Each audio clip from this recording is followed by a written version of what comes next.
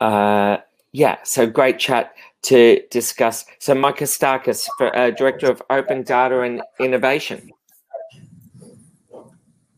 G'day, how are you? I'm hey, gonna... g'day.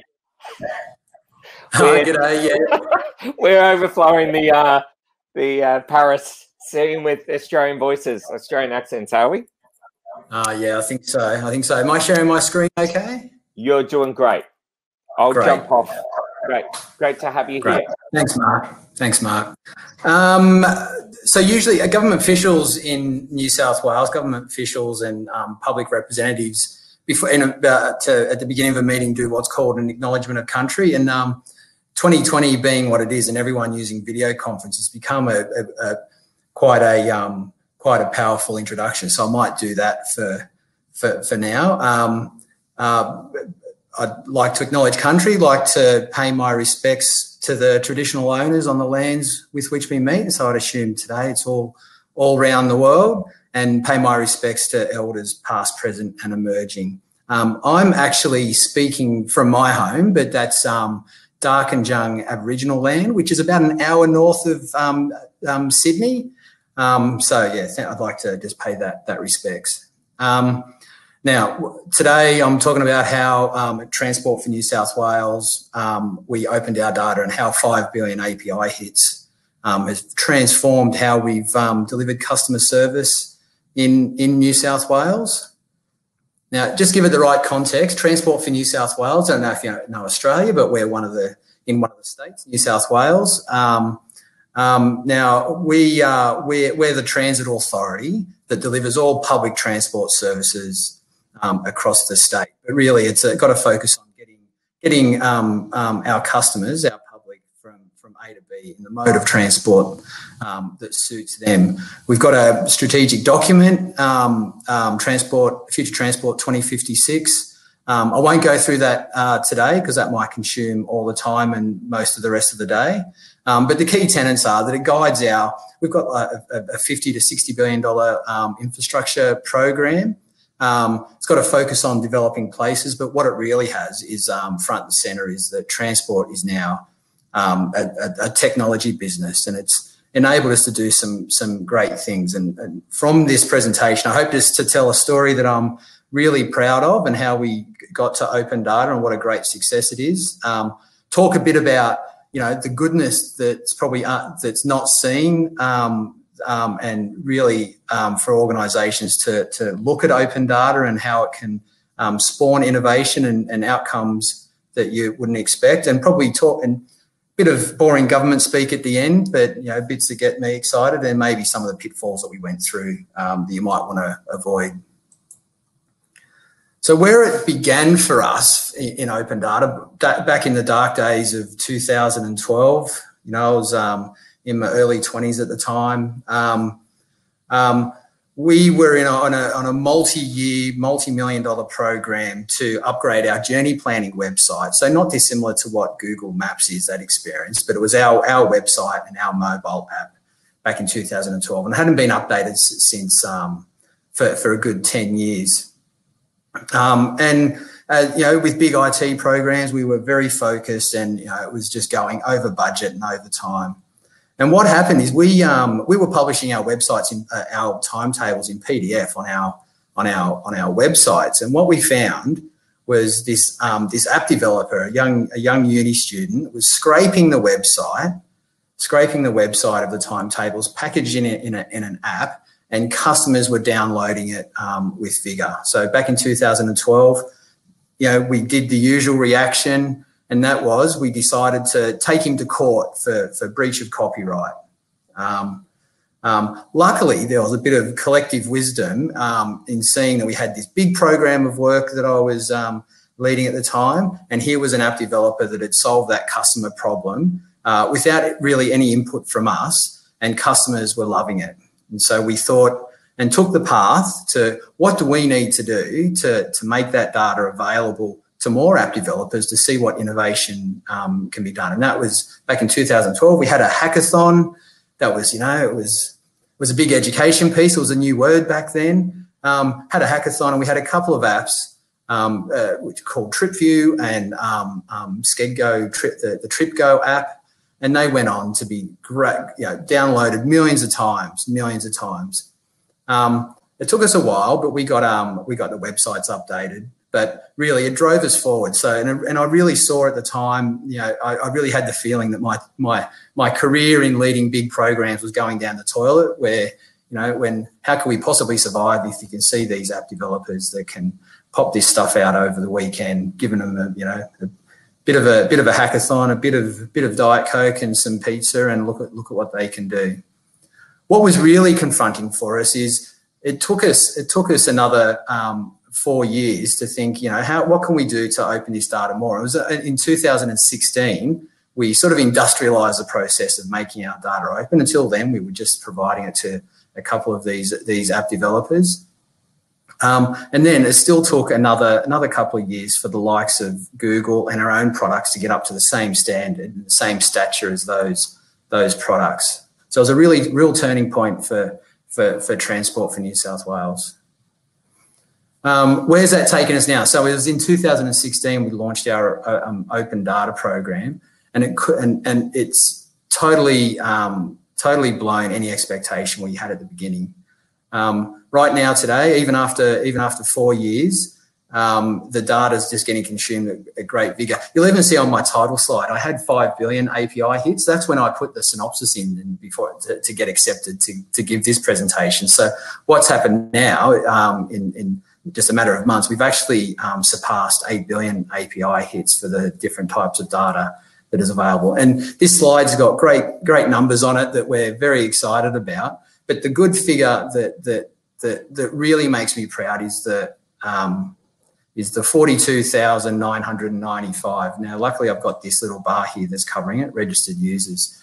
Now, that is the community. That is the, the number of registered users that have, that access, that have accounts and access data on our website that we um, that we've learned is what gives it. It's not about making data open for us. It's about that community and making sure that they've got the right focus on the, the transport problems we're, we're trying to solve. So how we've done that is rather than being a, a, traditional open data organization, and the key, sorry, just one key point on the previous slide, the open data hub, it's not for static data sets, it's actually an API gateway. So we, we, we did have a little bit of smarts to think uh, when we made the investment to make this open data hub, that it was to look to the future and APIs was, was the future. Um, but for us, it's not about making the data open. It's a, it's about having what we call innovation challenges, and that's where we put out you know uh, put out our challenges to to to industry, to you know who is in the community, app developers, researchers, academics, software companies. Um, we we encourage them to to look to the data and see what solutions they can come up with by giving them um, um, use cases or stories to solve for us. And if they can solve those use cases and pitch to us a good solution, um, we we offer seed funding to to bring those products into into reality. And we've we've tackled a whole range of different transport options from the, those original real time apps right down to you know how can congestion be better managed, um, right over to mobility as a service and how to bring the disparate different types of ways of traveling together with public transport like cycling. So it's really driven um, uh, driven by our strategic agenda, uh, agenda and the outcomes we've got to achieve. How do we put then partner with with industry to bring those ideas um, um, forward? Oh, excuse me. So really, what like, and this is the real testament for uh, our, our, our success. Just the, the the there is a great diversity in the products that we've we've uncovered. This is a just a, a, a, small sample just cut from our open data website of our um, um, showcase showcase apps. And if you went through them, you'd see a whole range of different um, transport related apps. But what's key is these um, are all third parties. We don't own these products. All we do is support them and um, partner with them so they can be go on and be their own individual successes. Um, but the proof's in the pudding that like, like over, over the last um, um, half decade, there's been 8 million downloads of these apps um, in, in New South Wales. So we're very, very proud of that. And that's the, the real test for us. This is how we've transformed the, the customer landscape in that they're not, the customers aren't necessarily relying upon us to get the services into their hand. It's about us enabling how to get the services into the products that customers actually use.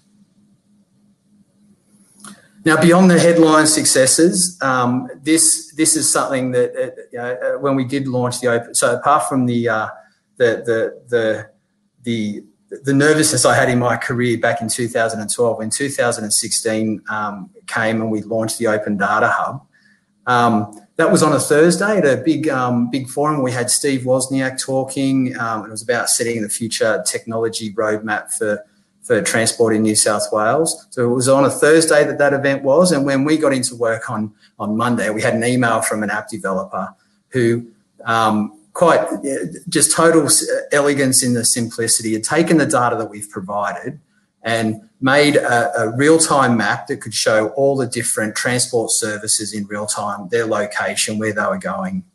Um, now, that was quite quite a, a, profound moment. There was a big program of work that was trying to pull this together. And what it showed to us is just in the time that we've been working on making open data available, there's a whole generation of really data literate young people that are just the next generation. So if you look at me, I've got grey hair. I'm, you know, I'm not re- not at retirement age, but I, I can see it over the horizon. But the next, the new generation of really data literate, technically proficient um, um, entrepreneurs is an area that everyone should be considering how to how to tap into. We have actually we did for a little while while I was a student um, engaging as an intern. He's then gone on to win awards for transport uh, globally for getting capacity information into into apps in a very simple simple fashion. He's also gone on to um, develop our COVID response, response dashboard, which has really set New South Wales on the on the right path in managing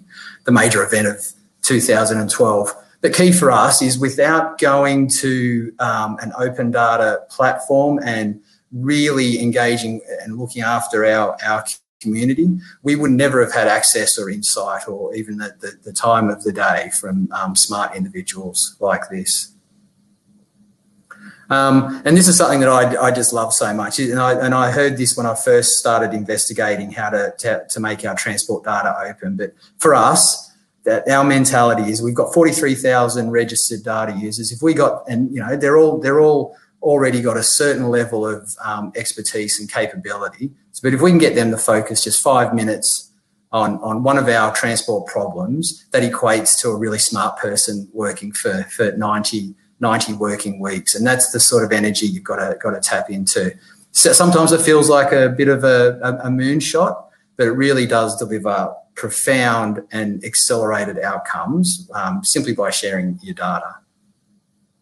Um, we've matured a lot since um, 2012. Um, I've got more grey hair, um, but more importantly, we've really industrialised the whole process now. So we've got a transport digital accelerator in New South Wales, and that's actually an off-site shared working space in one of our one of the um, um, one of Sydney's premier shared working spaces, and that allows physical when, when COVID's over, over but you know, the, the, the, physical opportunity for people to come in and experience and pitch ideas and in a, in a, in a collaborative co-working space to, to develop solutions. So we've really sort of taken the, the, the program forward and it keeps delivering us quite, quite profound outcomes. Um, now, our success has driven government locally to actually make opening data um, one of the key tenets of the. the so, being in government, we're, we're, we're, an open government. There's something called GIPA in New South Wales, which is um, Government Information to the Public um, um Act. Um, so, essentially, that was to make government open and transparent. But now there's a requirement for public particip- for us to um, proactively encourage public participation and sharing of data so that we can continue to deliver these innovative and accelerated outcomes to take it forward. Um, now, look, it, it, I, I, wanted everyone to come away with um, a couple of what would you, if you know, if you want to be an open data uh, organisation, and I'm sure a lot you, you need to take it. Um, you need, really need to step in there and get, get it happen. It's not about opening data just for um, data's sake. You've got to really prioritise and get outcomes from that sharing of data. Um, um, other pitfalls to avoid that we, we've learned that privacy, it's not about, you know, protecting privacy or scrubbing data and making it open. There's got to be a real contemplation for you know, if you release data now, it's going to be out there, and what could that mean into the future? We've overcome that challenge with um, privacy protecting APIs for our uh, for our Opal, which is our electronic ticketing system. Um, just a, a, privacy protecting API so that we can put that data out there, which basically um, measures or gives gr- great and deep insight as to the, the, travel patterns of the New South Wales um, public. But you know, with with this, you know, basically it comes out synthesized. Um, um, but yeah, you've got to focus on privacy now and into the future. Um, there's a lot of, especially in large organisations, you've got to understand the commercial and public interest risks. You can't just release data. You've got to be a bit sensitive to what that the story that actually does tell.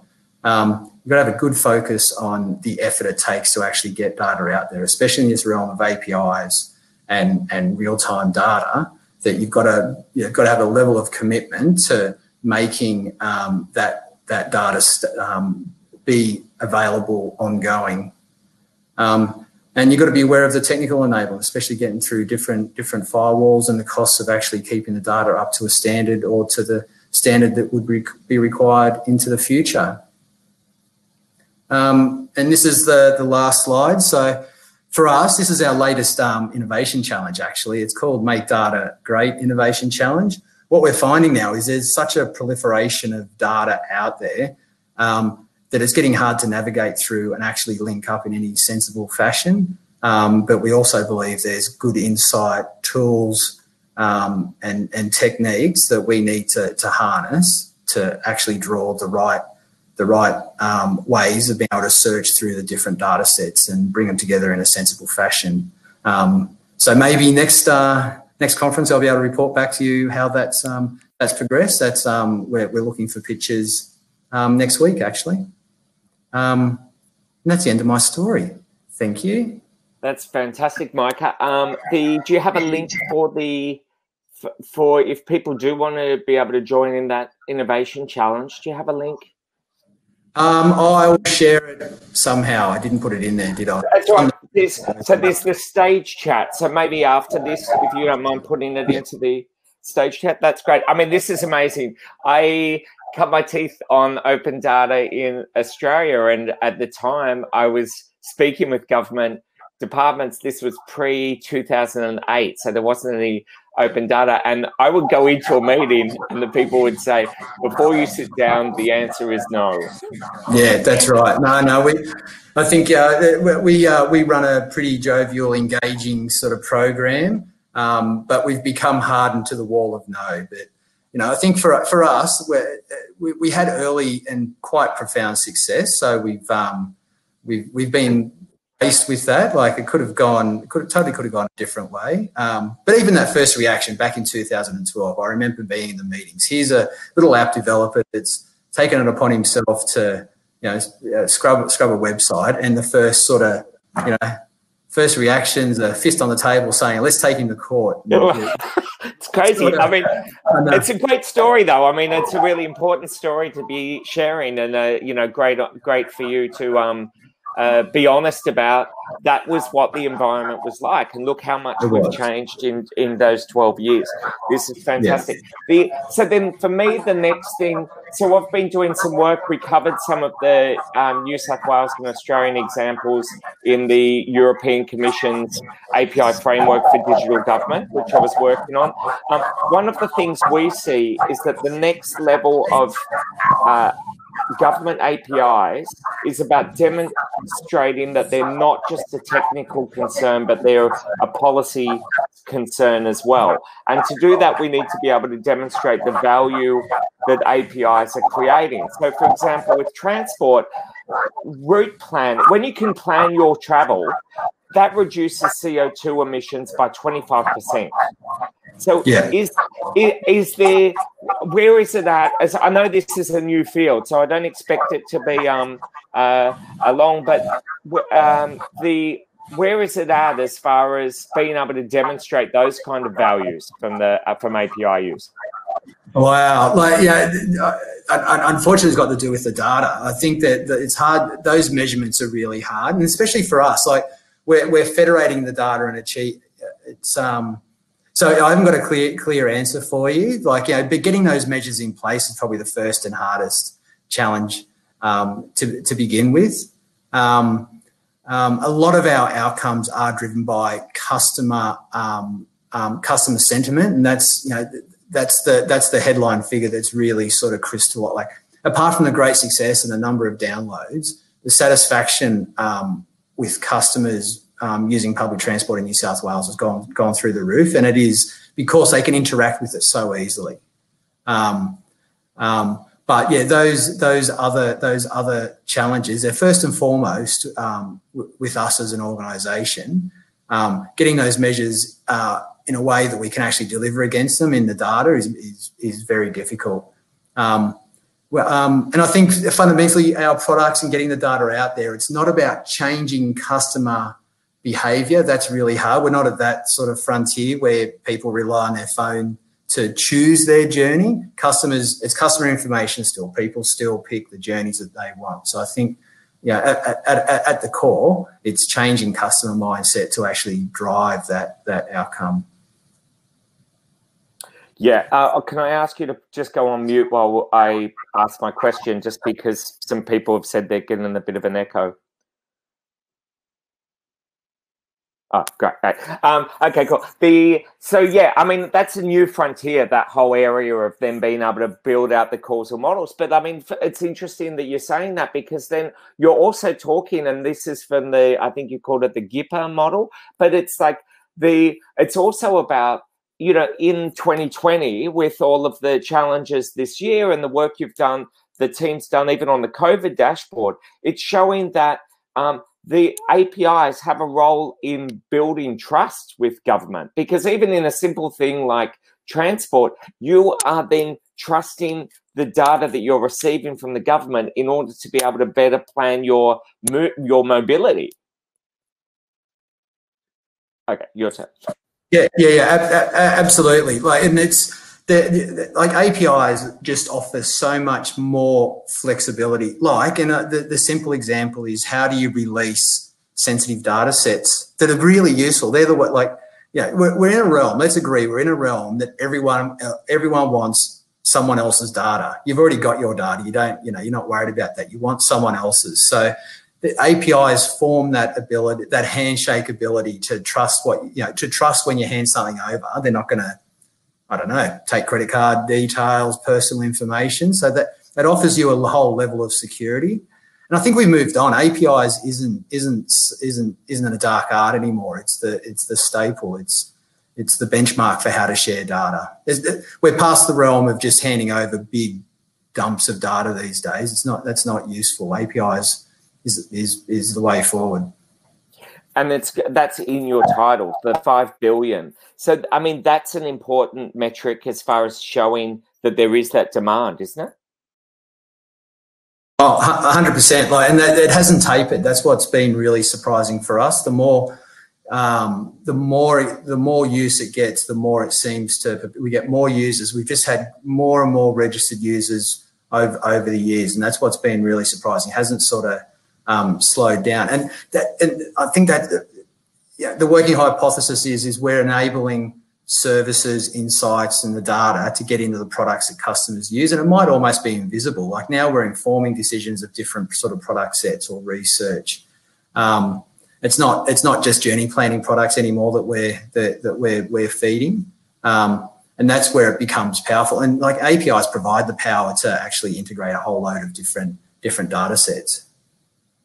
I know I'd love to see with uh, food security that you could somehow match sending people to areas where there was the cheaper products that are uh, the cheaper food products that are available just before their expiration date. So it's avoiding food waste, you know, but you can see how that could all be a future possibility because of the APIs. And it starts with transport quite often.